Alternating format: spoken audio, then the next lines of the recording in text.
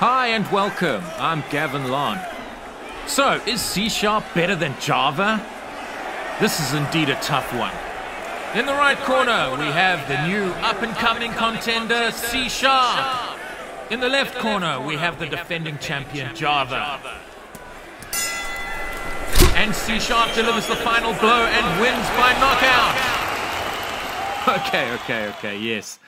So I have a bias towards C Sharp and .NET. Java is an amazing technology. So is C Sharp and .NET.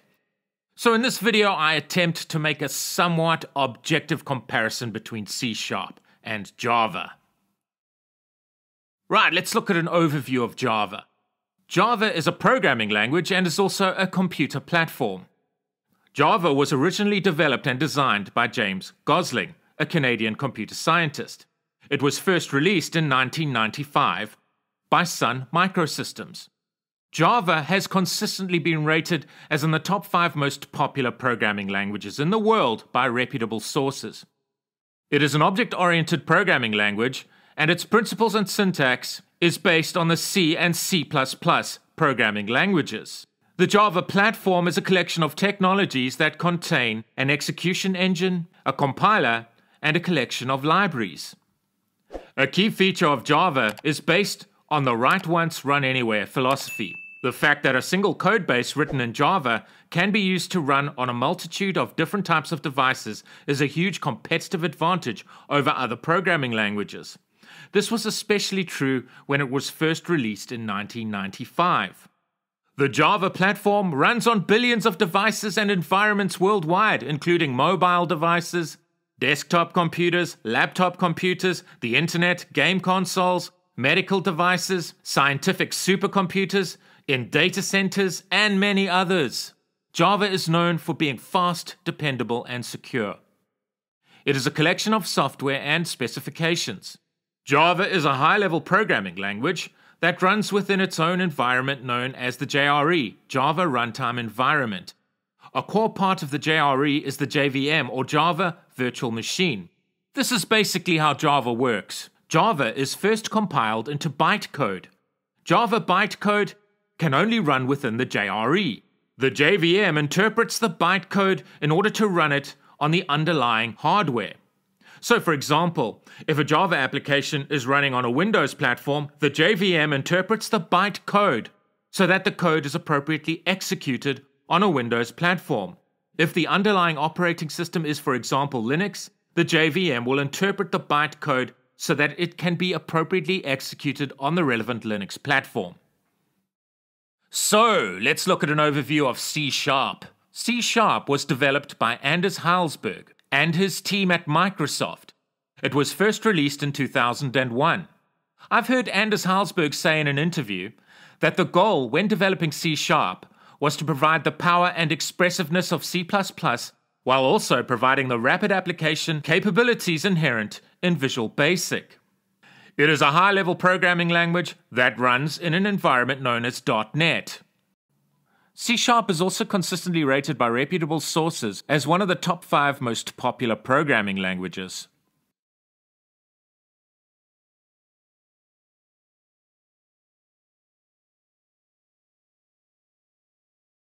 With the first release of .NET, C-sharp applications initially only ran on Windows platforms. In 2016, .NET Core allowed for C-sharp applications to be cross-platform, where one codebase could be used to run on multiple platforms, for example Windows, Mac OS, as well as Linux platforms. The Xamarin framework meant you could create cross-platform mobile applications where one codebase could be used to run C Sharp applications on both Android and iOS devices. Please note that the Xamarin framework has now evolved into the .NET MAUI framework.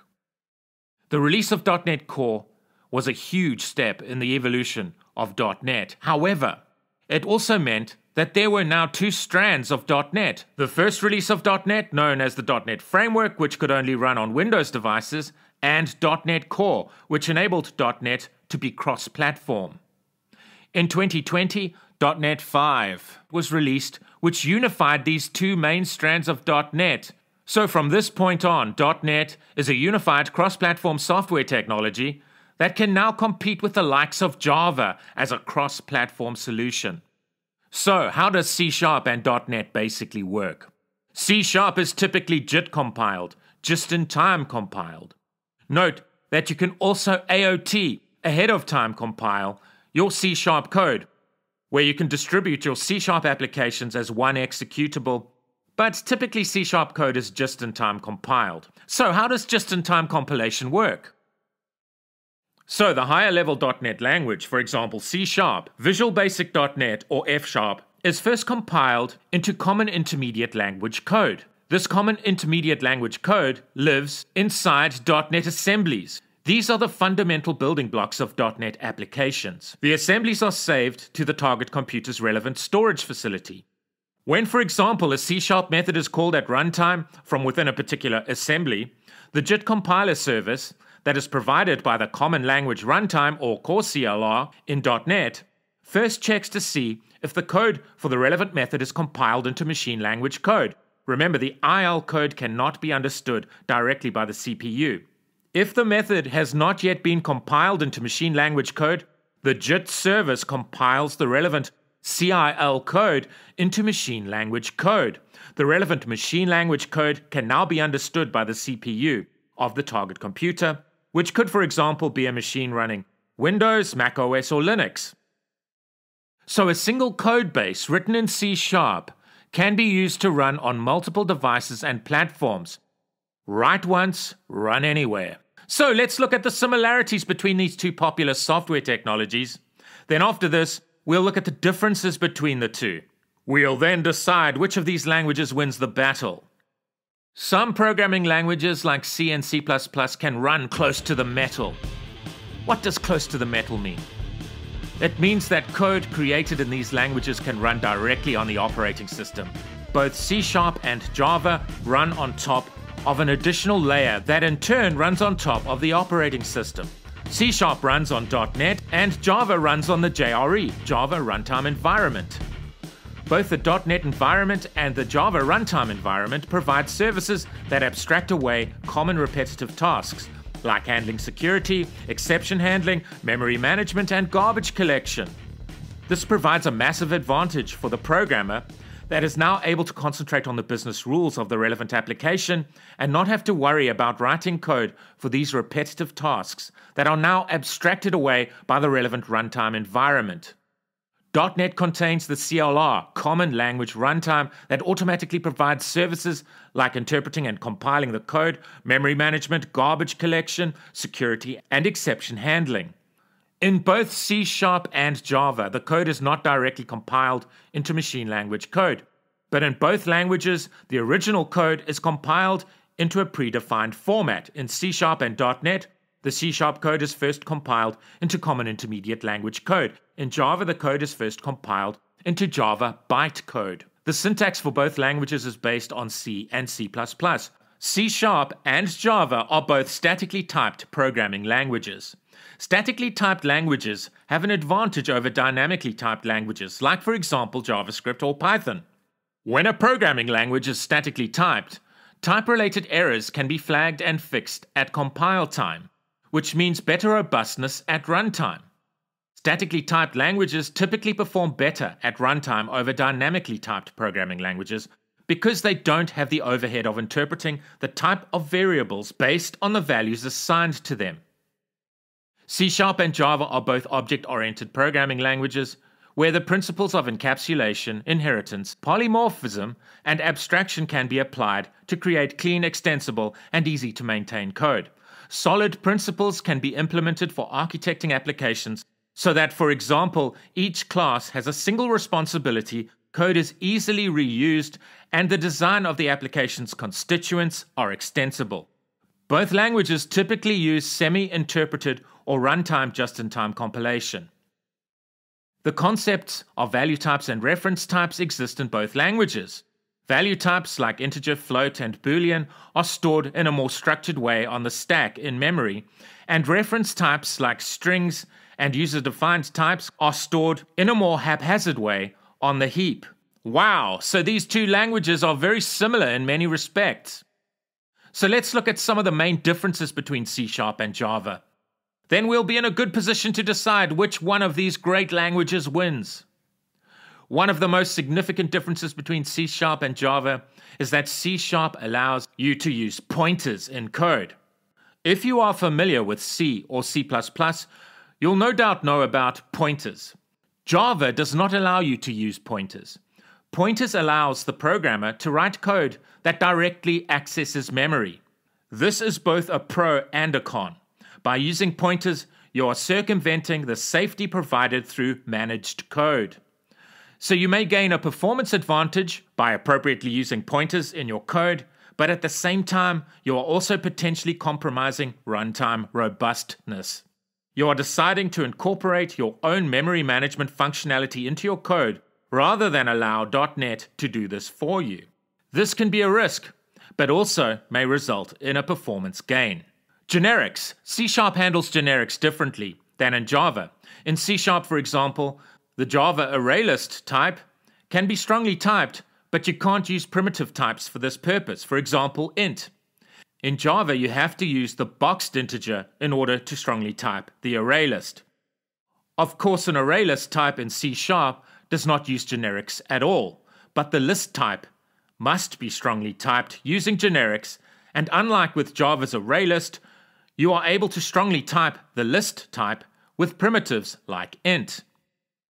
Another C Sharp feature that Java lacks is operator overloading. LINQ in C Sharp is an excellent feature that can be used for performing, for example, filtering, grouping, and aggregation operations against collections of objects. Java added streams to the collections library in Java 8, but this functionality is not as flexible as LINQ.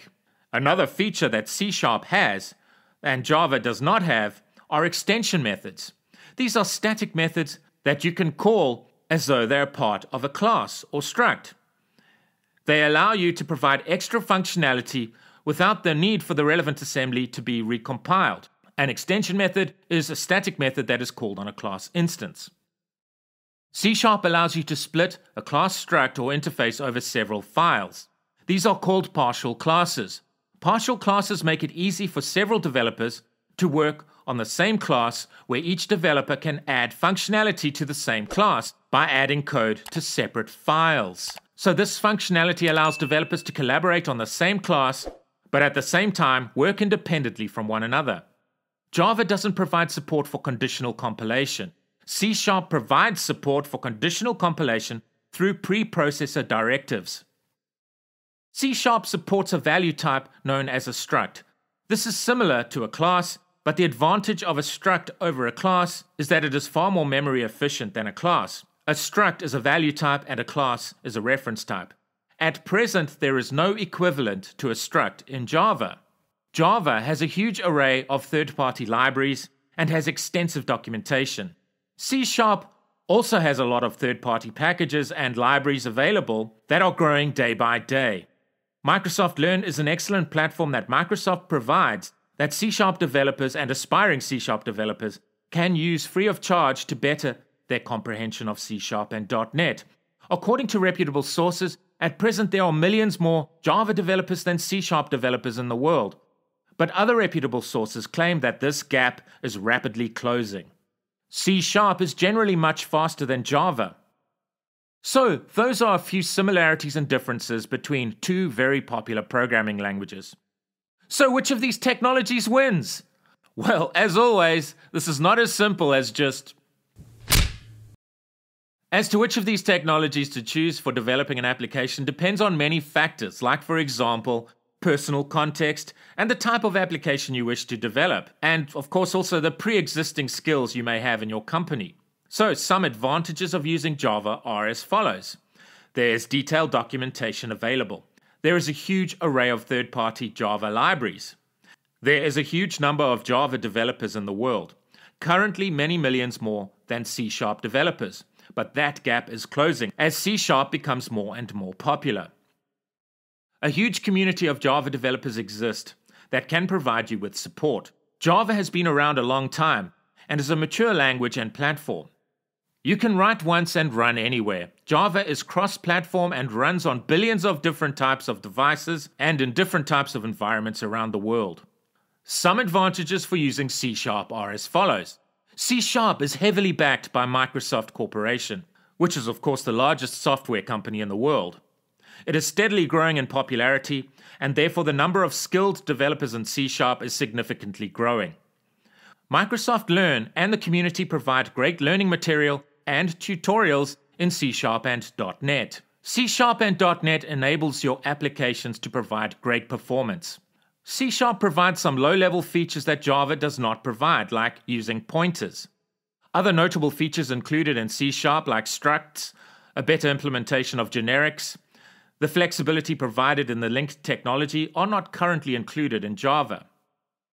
C Sharp is also cross-platform, so like with Java, you can write once and run anywhere. Of course, if you need to create an application that integrates extremely well with Microsoft technologies, clearly .NET and C Sharp should be your choice. These are both two excellent software technologies, and it really does come down to personal context as to which of these technologies you choose. If you are a company that wants to create an enterprise greenfield application, the first question should always be, what existing skills do I already have in my company? If your prevailing skill set is Java, then Java is the clear choice. However, if your prevailing skill set is C Sharp and .NET, then C Sharp and .NET is the logical choice. If you want to develop an enterprise full stack web application, note that with C Sharp and .NET, you can use one technology for both front-end and back-end development. This is because you can now use the Blazor framework to develop the front end for your applications, which can be written in C Sharp. So with C Sharp and .NET, you can leverage the benefit of using one technology for the entire full stack application. From the research that I've done in general, it seems like Java developers get paid slightly more than C Sharp developers. But other evidence tells me that this may change in the not too distant future. Note that skilled C Sharp developers still generally get paid very well. If salary is your criteria, my advice is to research salaries in and around your area, the area in which you live, for C Sharp and Java developers. You may just prefer the look and feel of one technology over the other. I hope you have enjoyed this video. So please let me know in the comments section which of these languages wins, Java or C Sharp. I've worked with both of these technologies, and my preference is definitely C Sharp and .NET. I hope I haven't triggered you Java developers too much in this video. Please prove me wrong in the comments section. I'm ready for you. If you like this video, please hit the like button and please consider subscribing. Please also ring the bell so that you'll be notified of future content. Please feel free to share this video with anyone you feel may benefit from its content. If you'd like to thank me by buying me a coffee, you can do this through my Buy Me a Coffee webpage at this URL. It will, of course, be greatly appreciated. I love reading your comments, so please feel free to engage with me in the comments section. I've recently joined X, formerly Twitter, so it would be great if you followed me on X. My username is at GavinLonDigital. I hope to see you soon. Thank you, and take care.